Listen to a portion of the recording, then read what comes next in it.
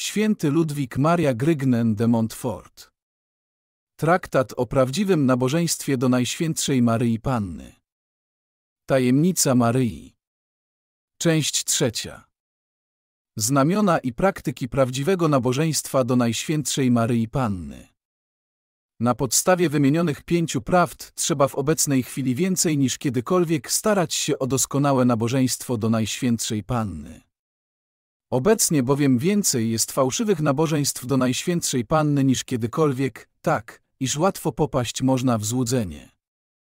Szatan, ów przebiegły fałszerz i doświadczony oszust, który już tyle jeden udzi oszukał i zatracił przez błędnie pojęte nabożeństwo do Matki Bożej, posługuje się codziennie swym szatańskim doświadczeniem, by gubić coraz to innych przez to, że ich pod pozorem kilku źle zmówionych praktyk religijnych w grzechu zabawia i odrzuca. Podobnie jak fałszerz pieniędzy, który podrabia zazwyczaj tylko złoto i srebro, a rzadko kiedy inne kruszce, gdyż się to nie opłaca, tak zły duch przekręca najczęściej nabożeństwo do Pana Jezusa i Maryi, nabożeństwo do Eucharystii i do Matki Najświętszej, bo są one wśród innych nabożeństw tym, czym jest złoto i srebro między kruszcami. Rzeczą zatem nader ważną jest wiedzieć. Po pierwsze, jakie są fałszywe nabożeństwa do Najświętszej Panny, by ich unikać, a jakie jest prawdziwe, aby je praktykować. Po drugie, które z rozmaitych nabożeństw do Najświętszej Panny jest najdoskonalsze, Najświętszej Pannie najprzyjemniejsze, Bogu przynoszące najwięcej chwały, a ludziom najwięcej łask. Rozdział 1. Znamiona fałszywego względnie prawdziwego nabożeństwa do Najświętszej Maryi Panny. Fałszywe nabożeństwa do Najświętszej Maryi Panny. Znam siedem rodzajów fałszywych czcicieli względnie fałszywych nabożeństw do Najświętszej Panny, mianowicie krytyków, skrupulatów, powierzchownych, zarozumiałych, niestałych, obłudników, samolubnych i egoistów.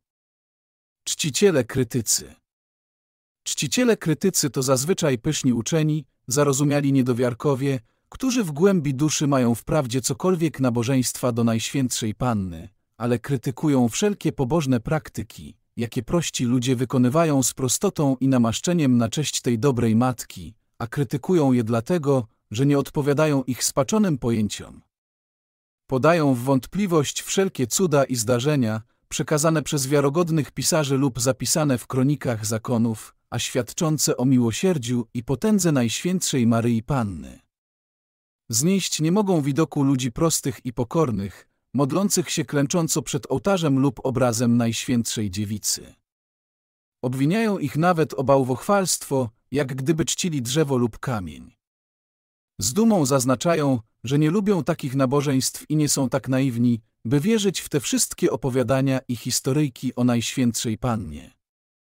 A kiedy słyszą owe przedziwne pochwały, jakie ojcowie Kościoła głoszą o Najświętszej Dziewicy, to powiadają, że ojcowie ci jako kaznodzieje przesadzali lub też przewrotnie tłumaczą ich słowa.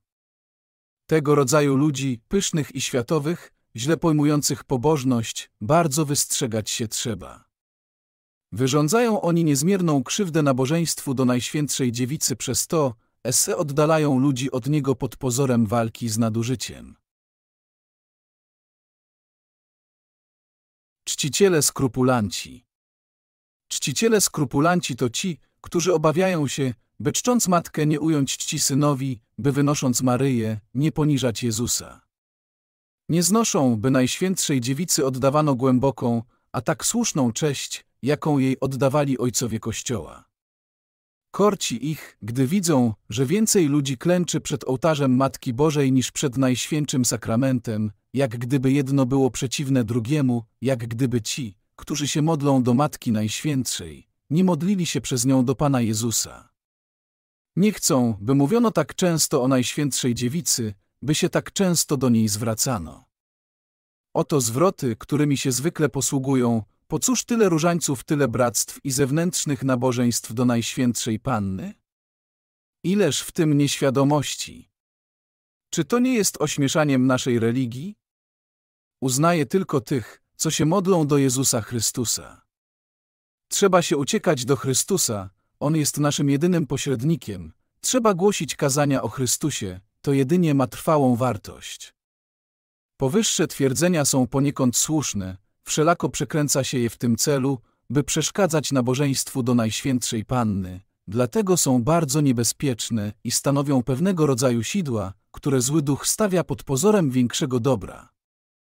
Nigdy bowiem nie czcimy więcej Jezusa Chrystusa niż wtedy, kiedy czcimy Najświętszą Dziewicę, bo czcimy ją dlatego tylko, by doskonałej czcić Jezusa Chrystusa.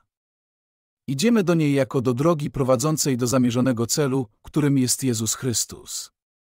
Kościół Święty wraz z Duchem Świętym błogosławi wpierw Najświętszą Dziewicę, a potem dopiero Jezusa, błogosławionaś Ty między niewiastami i błogosławion owoc żywota Twojego Jezus. Nie dlatego, jakoby Najświętsza Maryja Panna znaczyła więcej niż Jezus, lub była mu równa, byłoby to nieznośną herezją, ale dlatego, że trzeba wpierw sławić Maryję, by doskonałej wielbić Jezusa. Powiedzmy zatem ze wszystkimi prawdziwymi czcicielami Maryi, wbrew twierdzeniom owych fałszywych skrupulantów, o Mary Joe, błogosławionaś Ty między niewiastami i błogosławiony owoc żywota Twojego Jezus. Czciciele powierzchowni Czciciele powierzchowni to tacy, których nabożeństwo do Najświętszej Panny zasadza się na praktykach czysto zewnętrznych. Lubują się tylko w zewnętrznej szacie nabożeństwa do Najświętszej Panny, gdyż nie ma je ducha wewnętrznego. Odmawiają mnóstwo różańców pośpiesznie, wysłuchują po kilka mszy świętej bez nabożeństwa, biorą udział w procesjach bez należytego skupienia, należą do wszystkich możliwych bractw, a przy tym wszystkim najmniejszej nie ma poprawy w ich życiu, nie walczą z namiętnościami i nie naśladują cnót Najświętszej Maryi Panny. Lubują się w uczuciowych momentach nabożeństw, ale nie zważają na ich prawdziwą treść.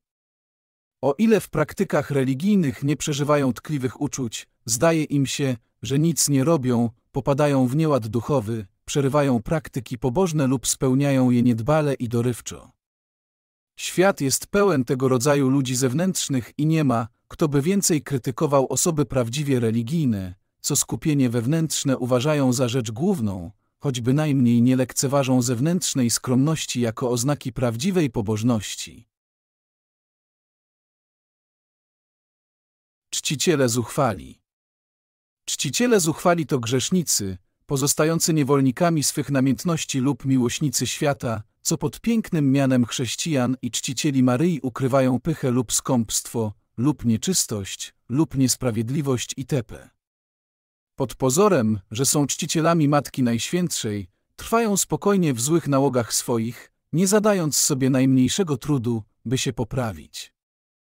Wmawiają w siebie, że Pan Bóg im przebaczy, że nie umrą bez spowiedzi i że nie będą potępieni, ponieważ odmawiają różaniec, poszczą w soboty, należą do Bractwa Różańcowego, do szkaplerza lub sodalicji i noszą oznakę Matki Boskiej.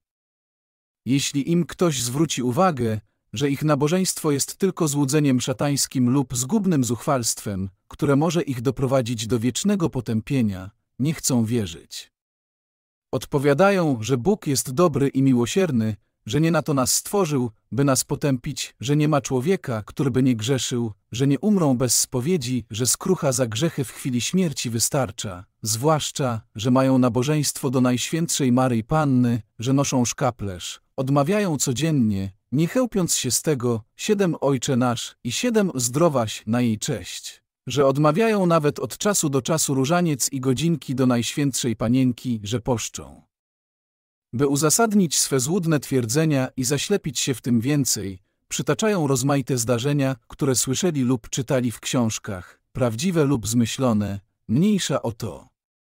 Prawią tedy, że pewne osoby, zmarłe w grzechu śmiertelnym bez spowiedzi, zostały wskrzeszone, by się mogły wyspowiadać, że w innym wypadku dusza biednego grzesznika pozostała cudownym sposobem w ciele tak długo, dopóki tenże nie odprawił spowiedzi, że wielu otrzymało, przez miłosierdzie Najświętszej Maryi Panny, od Boga w chwili śmierci łaskę doskonałego żalu za grzechy i ich odpuszczenie. I dostąpiło zbawienia, a to wszystko stało się dlatego, że osoby te za życia odmawiały pewne modlitwy lub spełniały niektóre praktyki religijne na cześć Najświętszej Panny. Więc i oni spodziewają się tego.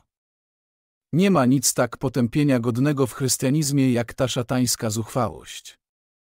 Bo czy może ktoś mówić z przekonania, że kocha i czci Matkę Najświętszą, jeśli swymi grzechami kłuje, przebija, krzyżuje i znieważa bezlitośnie Jezusa Chrystusa, jej Syna? Gdyby Maryja przez swe miłosierdzie ratowała z reguły tego rodzaju ludzi, to by wprost popełniała zbrodnie i dopomagała w ukrzyżowaniu i znieważaniu swego Syna. Któż ważyłby się coś podobnego przypuścić? Twierdzę, że w ten sposób nadużywać nabożeństwa do Najświętszej Panny Maryi, które poczci Jezusa Chrystusa w Najświętszym Sakramencie jest najświętsze i najistotniejsze, znaczy popełniać przerażające świętokradztwo, które po niegodnej komunii świętej jest największe i najmniej godne przebaczenia. Przyznaję, że być prawdziwym czcicielem Najświętszej Maryi Panny nie znaczy koniecznie być tak świętym, by ustrzec się przed wszelkim grzechem, jakkolwiek byłoby to rzeczą bardzo pożądaną, wszakże, aby być prawdziwym czcicielem Maryi, trzeba przynajmniej po pierwsze, mieć szczere postanowienie unikania co najmniej wszelkiego grzechu śmiertelnego, który matkę tak samo znieważa jak syna. Po drugie, trzeba zadawać sobie gwałt, by unikać grzechu.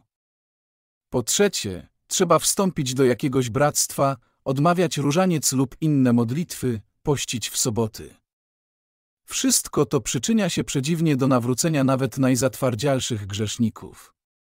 Jeśli czytelnik znajduje się w ich liczbie, to radzę mu, choćby jedną nogą był już w przepaści, zastosować te ćwiczenia, pod warunkiem jednak, że będzie je wykonywał w intencji uzyskania u Boga, za pośrednictwem Najświętszej Maryi Panny, łaski żalu za grzechy i przebaczenia oraz pokonania złych nałogów, i że nie będzie spokojnie żył w stanie grzechu mimo wyrzutów sumienia i wbrew przykładowi Jezusa Chrystusa i świętych oraz wbrew zasadom Ewangelii. Czciciele nie stali. Czciciele nie stali to ci, którzy służą Matce Najświętszej dorywczo i kapryśnie. Raz są żarliwi, raz obojętni, raz są gotowi zrobić wszystko, by służyć Matce Najświętszej, a niebawem stają się zupełnie inni.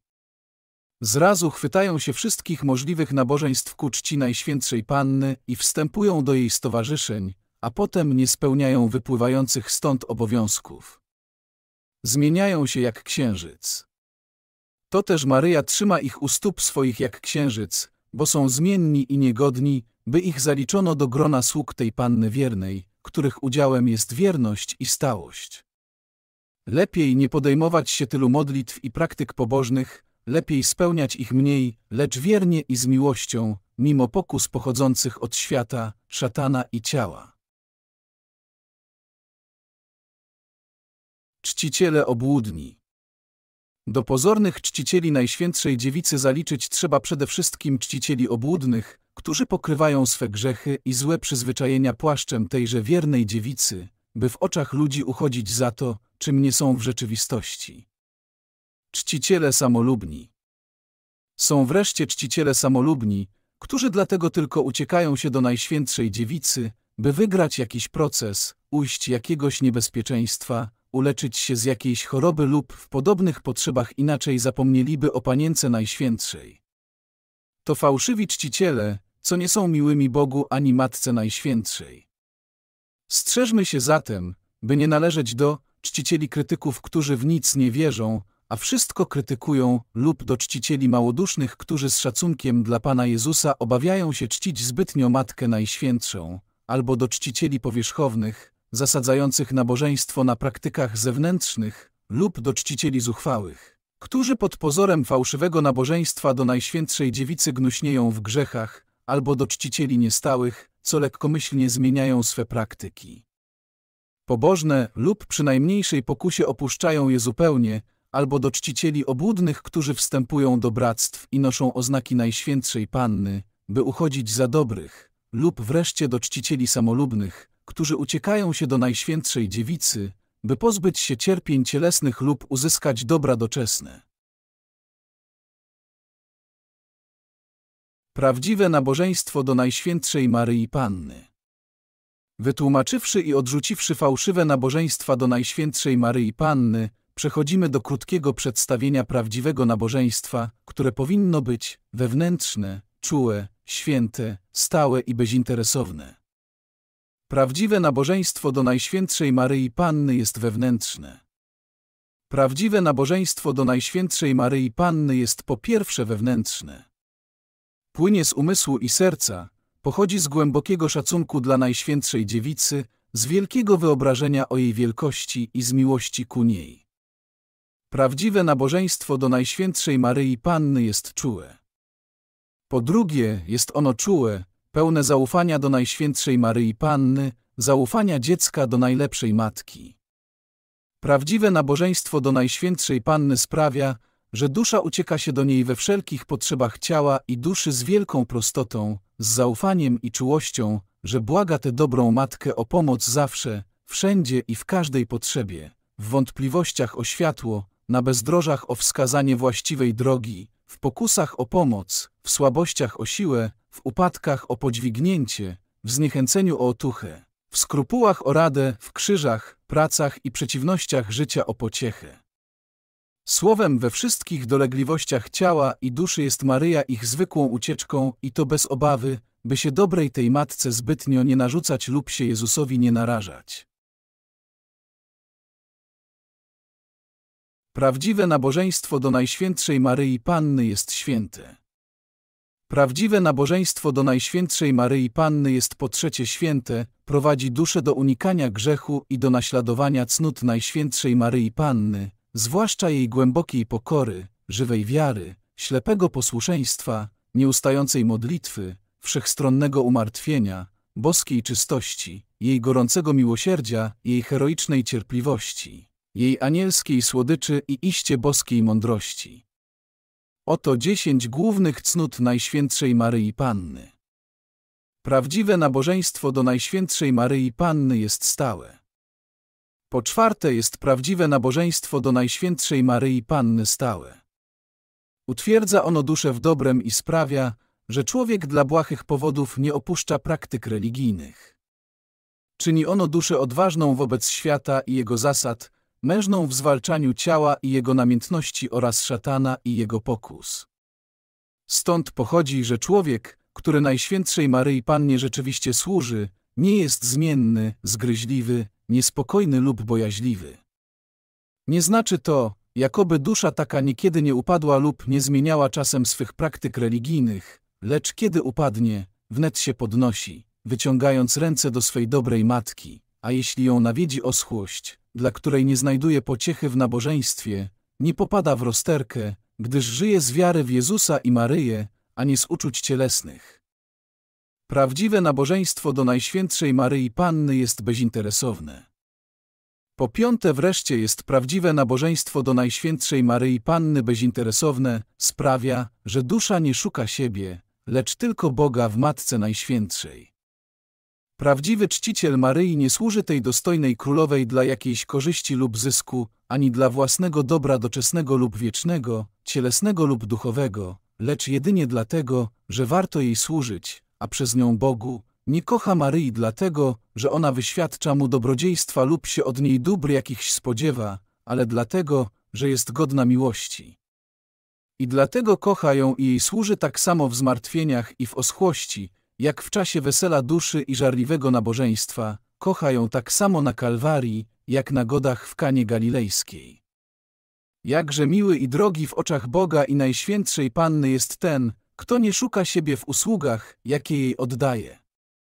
Niestety tak rzadko duszę taką spotykamy. I dlatego właśnie chwyciłem za pióro, by spisać to, czego przez długie lata nauczałem publicznie i prywatnie. Przepowiednia dotycząca doskonałego nabożeństwa do Najświętszej Maryi Panny. Dużo już powiedziałem o Najświętszej Dziewicy, lecz pragnę jeszcze więcej o niej powiedzieć, gdyż zamiarem moim jest ukształtować prawdziwych czcicieli Maryi i prawdziwych uczniów Chrystusa Pana. Wszakże pominę nieskończenie więcej, bądź to z nieświadomości, bądź też dla braku czasu. Jakże sowicie byłby trud mój nagrodzony, gdyby ta książka dostała się do rąk jakiejś szlachetnej duszy, zrodzonej z Boga i Maryi, a nie z krwi, nie z woli ciała, nie zwoli męża i gdyby łaska Ducha Świętego odsłoniła jej całą doskonałość i wartość prawdziwego i trwałego nabożeństwa do Najświętszej Panny, które zamierzam opisać i ją do niego zapaliła. Gdybym wiedział, że grzeszna krew moja przyczynić się może do wyrycia w sercu prawd, o których na cześć mej umiłowanej matki i wszechwładnej pani pisze, to zamiast atramentu posługiwałbym się własną krwią, w nadziei, se znajdę szlachetne dusze, co wiernością w nabożeństwie, które głoszę, wynagrodzą mej drogiej matce i pani straty, jakie poniosła przez mą niewdzięczność i niewierność. Silniej niż kiedykolwiek budzi się we mnie wiara i ufność, że ziści się wszystko, co mam głęboko wyryte w sercu i o co proszę Boga od lat wielu, mianowicie, że wcześniej czy później Najświętsza Dziewica mieć będzie więcej dzieci, sług i niewolników z miłości niż kiedykolwiek, i że skutkiem tego Jezus Chrystus, ukochany Pan mój, będzie więcej niż kiedykolwiek panował w sercach. Przewiduje, ile drapieżnych zwierząt porwie się w istnym szale, by szatańskimi swymi zębami rozedrzeć to pisemko lub przynajmniej ukryć je w ciemnościach jakiejś skrzyni, iżby się nigdy nie ukazało. Będą one nawet napadać i prześladować tych, którzy czytać je będę i zawarte w nim prawdy wprowadzać w czyn. Lecz mniejsza o to. Owszem, tym lepiej. Przeczucie to budzi we mnie nadzieję, że wielkie będzie powodzenie, że powstanie liczny zastęp odważnych i dzielnych żołnierzy Chrystusa i Maryi, co w nadchodzących, niebezpiecznych czasach podbiją i zwyciężą świat szatana i zepsutą naturę. Kto czyta, niech rozważy. Rozdział drugi. Praktyki prawdziwego nabożeństwa do Najświętszej Maryi Panny. Praktyki zwyczajne. Prawdziwe nabożeństwo do Najświętszej Maryi Panny zna kilka praktyk wewnętrznych. Oto najważniejsze z nich. Czcić Maryję jako godną Matkę Boga czcią hyperduli rozróżniamy dwojaką cześć religijną. 1. Caltes lutriae, cześć, którą oddajemy samemu Bogu z powodu Jego nieskończonej doskonałości i 2. Caltes duliae, cześć, którą oddajemy osobom stworzonym z powodu jakiejś nadprzyrodzonej doskonałości, jaką ich Bóg wzbogacił. Taka cześć należy się świętym. Najświętsza Maryja Panna odbiera z powodu swej szczególniejszej godności wybitniejszy stopień wspomnianej czci, który nazywamy Caltes Hyperduliae, czcić ją szanować ponad wszystkich innych świętych jako arcydzieło łaski i pierwszą po Jezusie Chrystusie prawdziwym Bogu i prawdziwym człowieku. Rozważać jej cnoty, przywileje i czyny. Składać jej akty miłości, uwielbienia i wdzięczności. Wzywać ją serdecznie. Ofiarowywać się jej i jednoczyć się z nią. Spełniać swe czynności w intencji przypodobania się jej. Wszelkie czynności rozpoczynać, wykonywać i kończyć przez nią, w niej, z nią i dla niej, aby je spełniać przez Jezusa, w Jezusie, z Jezusem i dla Jezusa Chrystusa, naszego ostatecznego celu. Praktykę tę wytłumaczę poniżej. Prawdziwe nabożeństwo do Najświętszej Dziewicy posiada też kilka zewnętrznych praktyk. Oto najgłówniejsze. Zapisać się do jej bractw i należeć do jej stowarzyszeń. Wstąpić do ustanowionych na jej cześć zakonów. Głosić jej chwałę.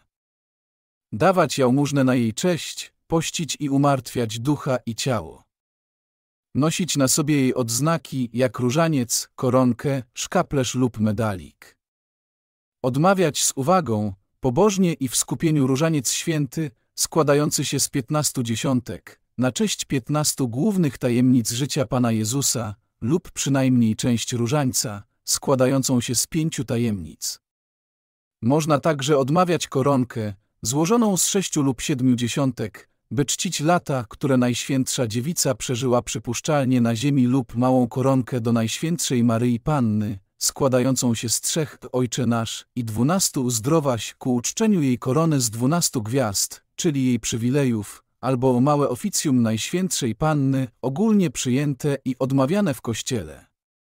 Chwalebną też jest rzeczą odmawiać mały psałterzyk Najświętszej Dziewicy, który na jej cześć ułożył święty Bonaventura, a który tak jest tkliwy i serdeczny, że nie można go odmawiać bez wzruszenia, albo czternaście Ojcze nasz i wzdrowaś na czeście i czternaście radości, lub inne modlitwy, hymny i pieśni kościelne, jak Salve Regina, Alma, Ave Regina Celorum lub Regina Sili. Stosownie do czasu roku kościelnego lub Ave Maris Stella, o Gloriouse Domine Itepe albo Magnificat lub jakiekolwiek inne. Modlitwy, których pełno mamy w książkach do nabożeństwa. Śpiewać na jej cześć pieśni pobożne i innych do tego zachęcać. Klęknąć pewną ilość razy lub pokłonić się jej, mówiąc przy tym co rano 60 do 100 razy, Ave Maria, Virgo Fidelis, by za jej pośrednictwem być wiernym łaskom Bożym w ciągu dnia, a wieczorem Ave Maria, Mater Misericordie, by otrzymać przez nią od Boga przebaczenie grzechów, które popełniliśmy w ciągu dnia. Opieką otaczać jej bractwa, przyozdabiać jej ołtarze, ubierać kwiatami i upiększać jej obrazy. Nosić jej obrazy podczas procesji, nosić jej obrazek stale przy sobie jako broń przemożną przeciwko złemu duchowi. Umieszczać jej obrazy w kościołach i domach lub na bramach miast, kościołów i domów. Ofiarować się jej w sposób uroczysty.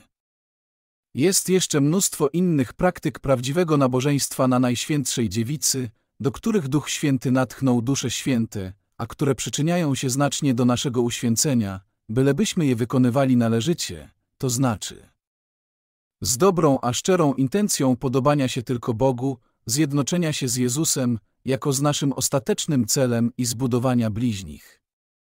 Z uwagą, bez dobrowolnego roztargnienia. Z pobożnością, bez pośpiechu lub niedbalstwa. Ze skromnością w pokornej i budującej postawie. Praktyki doskonałe. Przeczytałem wszystkie prawie książki, które traktują o nabożeństwie do Najświętszej Maryi Panny, rozmawiałem o tym szczerze z najświętszymi i najmędrszymi osobami i twierdzę śmiało i otwarcie, że nie poznałem dotąd żadnego ćwiczenia pobożnego ku czci Najświętszej Dziewicy, podobnego temu, o którym chcę mówić. Żadne nie wymaga od duszy więcej poświęcenia dla Boga, żadne nie uwalnia duszy więcej od samej siebie i od miłości własnej, żadne wierniej nie zachowuje się w łasce lub łaski w niej, żadne nie łączy jej doskonałej i łatwiej z Jezusem Chrystusem, żadne wreszcie nie przynosi Bogu więcej chwały, nie uświęca bardziej duszy i nie jest użyteczniejsze bliźniemu. Ponieważ istota tego nabożeństwa tkwi we wnętrzu człowieka, mającym być przez nie urobione, nie znajdzie ono równego u wszystkich zrozumienia, jedni zatrzymają się przy tym, co w nim jest zewnętrzne i nie pójdą dalej, tych będzie najwięcej, inni zaś, nieliczni, wnikną do jego wnętrza, ale wstąpią tylko na pierwszy stopień. Któż wstąpi na drugi stopień? Kto dojdzie do trzeciego? Któż wreszcie wytrwa na nim? Ten, komu duch Jezusa Chrystusa odsłoni te tajemnice. On sam poprowadzi wierną duszę, by postępowała z cnoty w cnotę, z łaski w łaskę, z światła w światło, by przeistoczyła samą siebie w Jezusie Chrystusie i doszła do pełności lat Chrystusowych na ziemi i do chwały w niebie.